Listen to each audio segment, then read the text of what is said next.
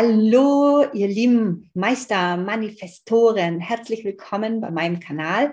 Herzlich willkommen bei einem neuen Video, in dem ich dir erkläre, was es mit deinen Ängsten auf sich hat. Weil du weißt, alles ist eine Reflexion von dir. Alles ist eine Manifestation von dir und von deinem Zustand. Und wir sind als Menschen in unserem Denken so gepolt, dass wir Angst haben. Angst, nicht zu genügen. Angst vor Zurückweisung. Angst, Fehler zu machen. Angst, etwas zu versauen. Und so in dieser Angsthaltung generieren wir genau die Dinge, vor denen wir uns fürchten genau die Dinge, vor denen wir uns Angst, vor denen wir Angst haben. Wie oft hast du Angst, dass das Schöne, das dir gerade begegnet, das du gerade erleben darfst, einen dramatischen Abbruch nimmt? Diese Angst führt zu einer Energie, die dir das Schöne, das du gerade erlebst, wegnimmt. Und es ist nicht, dass irgendein Universum oder irgendeine Kraft außerhalb von dir nicht möchte, dass du schöne Dinge erlebst, dass du ein schönes Leben hast, dass du eine schöne Beziehung hast, dass du dich geliebt fühlst, dass du dich gut fühlst, dass du dich richtig fühlst, dass du alle Wertschätzung dieser Welt bekommst. Nein, da ist keine Kraft, die dir das versauen möchte die über dich hereinbricht, sondern das ist eine alte Annahme. Das sind alte Rückschlüsse, weil diese Angst immer wieder da war. Diese Angst, und du hast nicht gewusst, dass es die Angst ist, die dazu geführt hat, dass dir die Dinge genommen worden sind oder dass du verletzt wurdest, dass du abgelehnt wurdest, dass du dich nicht gut genug gefühlt hast, dass du dich kritisiert gefühlt hast, dass du dich nicht angenommen gefühlt hast. Es war nur die Angst davor, dass du nicht gut genug bist, dass du einen Fehler machen kannst, dass du etwas Falsches sagen kannst, dass du etwas Falsches tun kannst. Genau diese Angst, die dich wie auf Eierschalen durchs Leben gehen lässt, die dich wie auf Eierschalen dich fühlen lässt, als könntest du irgendwie falsch sein. Genau diese Angst führt dazu, dass du im Außen immer wieder Begegnungen hast mit Menschen, die dir sagen, du bist nicht gut genug. Du genügst nicht. Ich will keine Beziehung mehr mit dir. Weder geschäftlich oder privat und hast immer wieder das Gefühl, Menschen ziehen sich von dir zurück und möchten nichts mit dir zu tun haben.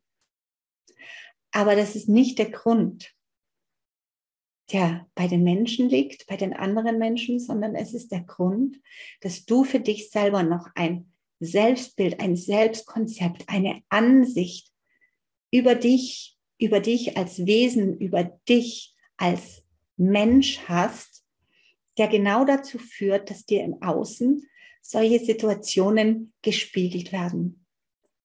Und in dem Moment, wo die Angst in dir hochsteigt, weißt du, dass du all das im Außen manifestierst, wovor du Angst hast.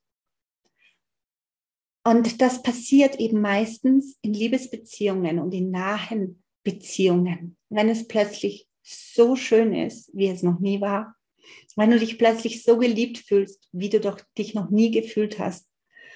Wenn du plötzlich denkst, du lebst im Himmel auf Erden. Und dann kommt der Gedanke, das kann nicht so bleiben. Das ist noch nie so geblieben. Was ist, wenn sie wieder weg ist? Fliege ich dann in ein riesengroßes Loch?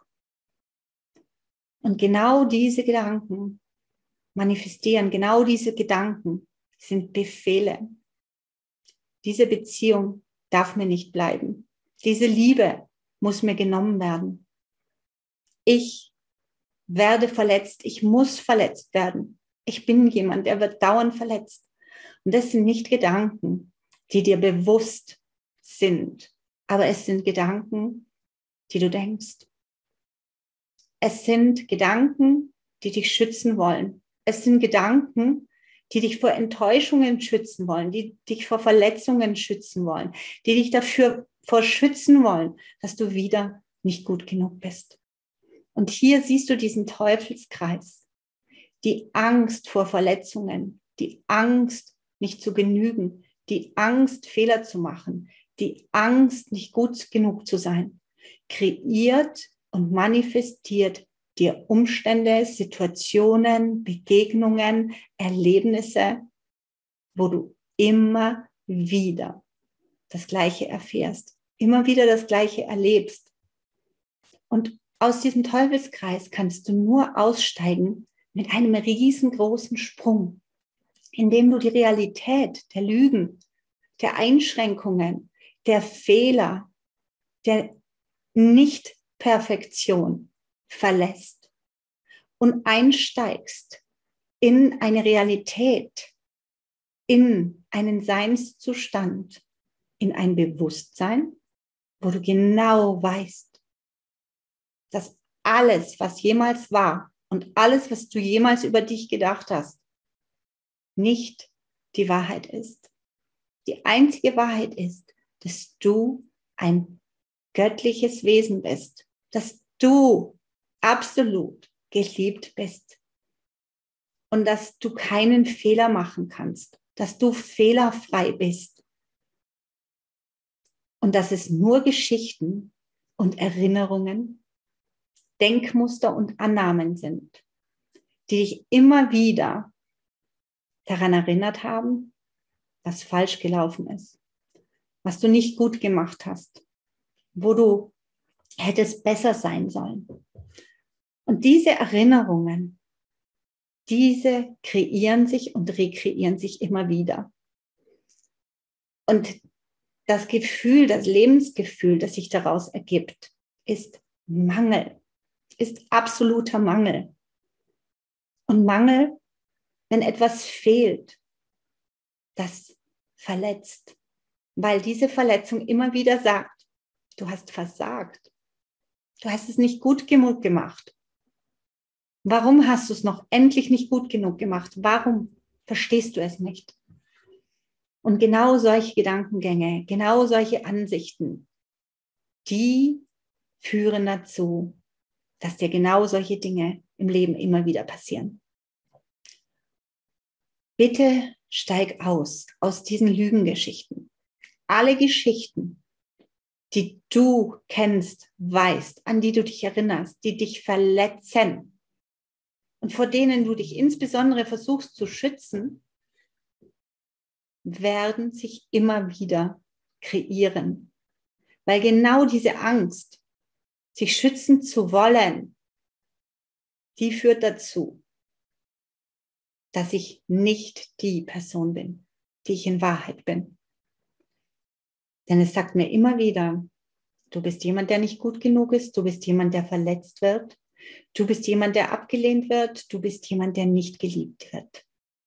Und hier geht es darum, dir sonnenklar, sonnen, sonnenklar zu machen, dass genau diese Ansichten, diese Geschichten über dich nicht dementsprechend, was du wirklich bist. Du bist Gottes Perfektion. Du bist wunderbar. Du bist gewollt. Und wenn du dir diese Dinge nicht selber klar machst, dann wird es dir niemand im Außen klar machen können. Das ist Gesetz, das ist Energie. Und so musst du anfangen, in dir selber nur noch Gedanken zu denken, die genau das sagen, was du im Außen reflektiert haben möchtest. Möchtest du hören, wie geliebt und anerkannt und wertgeschätzt du bist? Möchtest du es sehen im Außen? Möchtest du manifesten Beweis haben? Dann muss für dich sonnenklar sein. Ich bin geliebt. Ich bin wertgeschätzt. Bin gewollt. Ich bin die größte, perfekteste Kreation auf Gottes Erdboden. Und wenn sich diese Sachen für dich, wenn du sie dir selber sagst, irgendwie noch komisch anfühlen, irgendwie gelogen, verlogen anfühlen, dann ist es genau dieses alte Ego-Denken, dieses Human Design-Denken, dieses Menschendenken, das in Beschränkungen und Limitierungen denkt.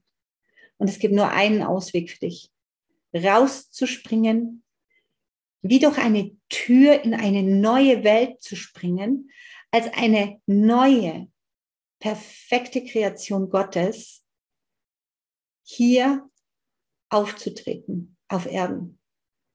Und damit hast du neue Gedanken.